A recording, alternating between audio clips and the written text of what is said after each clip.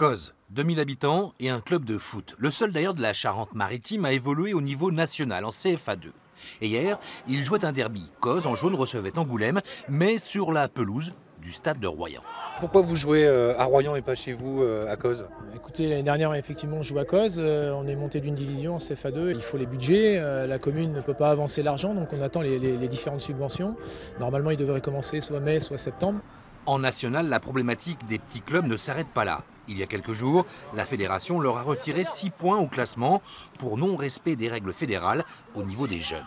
Nous, pour avoir les effectifs suffisants, on est obligé de s'associer c'est ce qu'on a fait en créant le groupement de jeunes de l'estuaire il y a 6-16 ans, avec, avec Messier Mortagne, pour avoir les effectifs suffisants pour pouvoir euh, euh, avoir euh, une équipe de jeunes dans les catégories. Et ça, la Fédé dit non Et eh bien la Fédé, à partir d'un certain niveau, elle considère que ça, ça, c'est pas valable. C'est des matchs trop importants, les mecs. Hein. C'est des matchs trop importants, on n'a pas le droit de lâcher aujourd'hui. Hein. L'objectif de la saison, le maintien, est loin d'être acquis. Cause est dernier. Éviter la relégation se joue sur le terrain d'abord, et quand on est le petit poussé du championnat de 100 000 euros de budget, ce n'est pas facile tous les jours.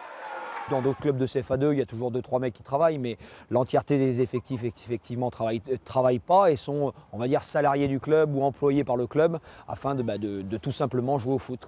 Alors que nous, bah, c'est tout le contraire. Hier, Cause a fait match nul, un partout face à Angoulême. Sur le plan sportif, le maintien est toujours envisageable. Reste une inconnue, la décision finale de la fédération sur l'éventuelle pénalité de 6 points. Le club a fait appel.